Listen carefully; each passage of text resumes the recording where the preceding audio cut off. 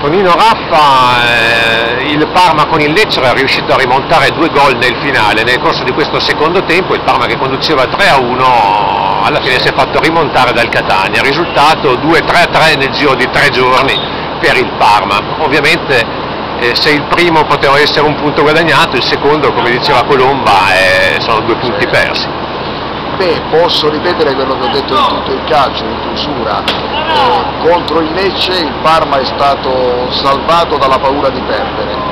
Contro il Catania invece è stato frenato dalla paura di vincere perché aveva fino ad un quarto d'ora dalla fine il risultato in punto ho espresso anche l'opinione che è stato il rigore trasformato da Lodi a cambiare l'inerzia della partita, perché quel rigore ha dato fiducia al Catania, rigore nato da una ingenuità di Santa Croce ed ha messo paura al Parma che poi nel finale ha subito il 3 a 3.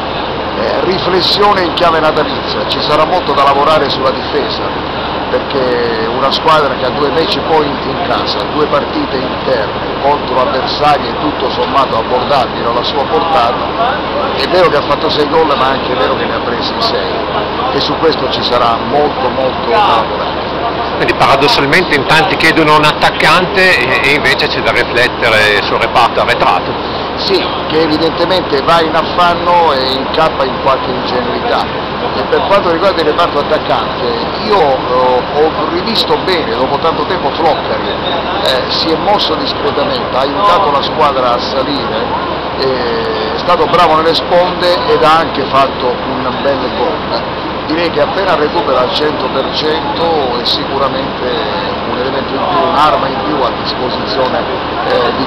Le preoccupazioni maggiori, ripeto, sono quelle che riguardano la fase difensiva, perché per fase difensiva bisogna intendere non solo eh, il rendimento del reparto arretrato, del pacchetto difensivo in sé, ma tutti i movimenti di insieme che la squadra fa quando è l'avversario ad avere il possesso.